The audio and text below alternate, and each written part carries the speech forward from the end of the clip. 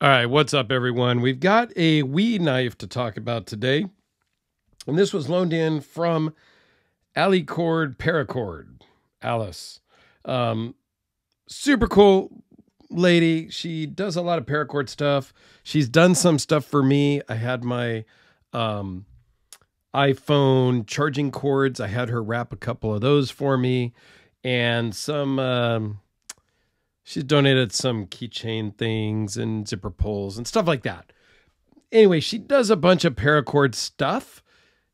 If you are inclined and need any paracord stuff, go check her out. I'll put a link uh, to her Instagram down below as well. That's the easiest way to get a hold of her. But anyway, she loaned in this WE knife Ziffius, I think is how you pronounce it, which is actually pretty cool. It's a button lock, which are not my favorite, and we'll talk about that in just a minute. Um, but what's really cool is they call this an integrated backspacer. Uh, I, don't know. Okay. So basically it is a think of the of the backspacer as a taco shell. And then you have each side of the scales, zoom back out a little bit here. Each of the scales are separate. So it's a three pieces. So you've got the left side, right side, and this taco as the construction of the scales. Unique. Not the first time I've ever seen anything like this, but it is unusual, uncommon to see this type of a backspacer.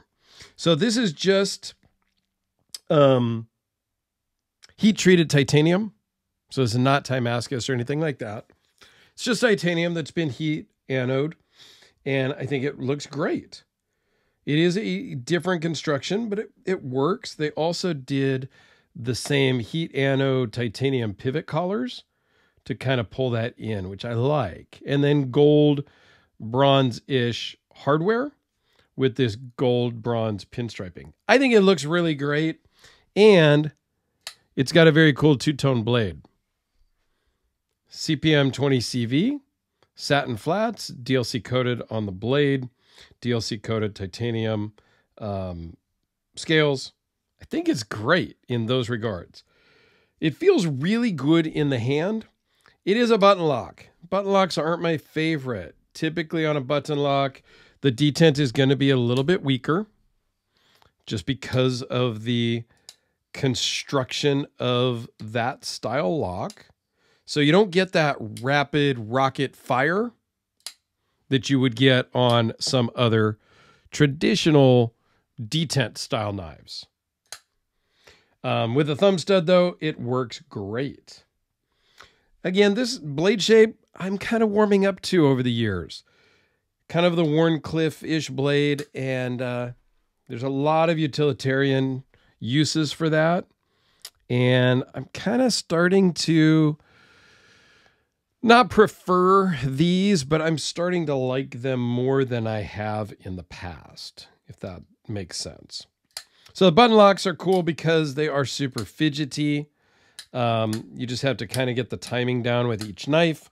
This does run on bearings, so it is super smooth and actually pretty controllable not really drop shut.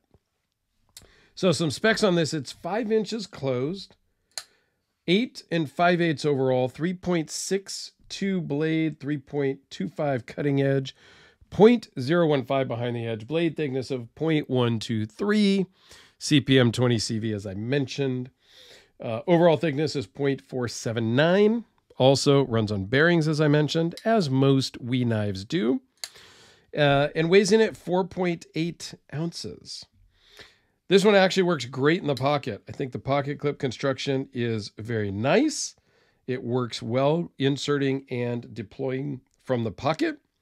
You do have a lanyard hole here if you are so inclined to use a lanyard or a doodad as uh, Beard of Doom calls it. And speaking of beard, I do have one knife that has a lanyard or a doodad that Beard of Doom actually made for me.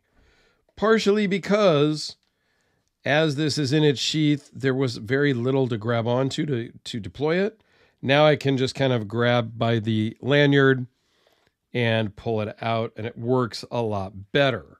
So there are times where a lanyard is useful. I am not a big lanyard person. I'm sorry, Allie, because she makes lanyards, right? So here I am kind of talking crap about it when she loaned this in. I, I apologize for that. Um, I don't like the little lanyard hanging out of my pocket with a bead on it and all that stuff. That's just not for me. If it's for you, awesome. My older brother used to hate lanyards, and then all of a sudden, he's like tying some of his own now. And I think most all of his knives, well, I don't know about all of, but he has a number of knives that have lanyards on them now. So we all change and evolve. I used to be into the really big overbuilt knives.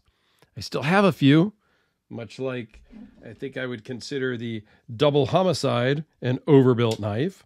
So I still have a few, but they're not my main carry anymore. I've kind of scaled down and carry more reasonable knives, if you will, these days. So we can all evolve and grow in the hobby. And I think that's a great thing to do.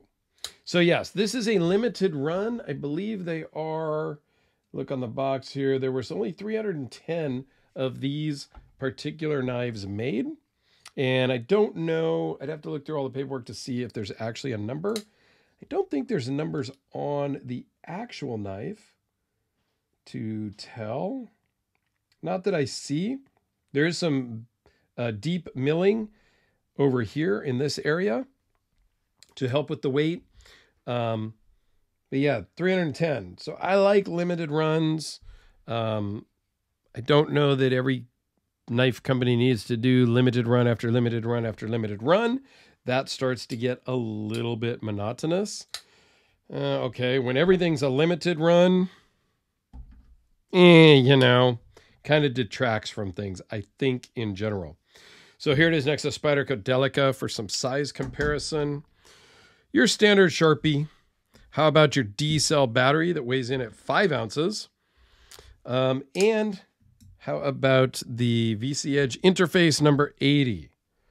Because it's a good size comparison. It's kind of that dark mode with a two tone blade. Like it's kind of similar, way different pricing, um, way different construction, way different everything, but similar in the looks department. So there you go.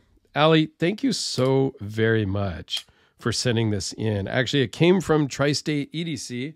He had it first, then he sent it to me, and then I am going to send it back to her uh, in just a couple of days because I have one more from her to film, and then I can get these shipped back to her. And uh, yeah, there you go. Trying to catch up still from my vacation. I got a little bit behind when I got back. Uh, so I have a pile of stuff here to still film and still unbox and whatnot. It's just kind of easing back into it from my vacation. So there you go. Sorry for the delay, Ali, but I appreciate it. And thank you all for watching. I think I have a WE playlist I'll put up in the corner or down below. You guys know how to do it. There you go. Thanks, guys.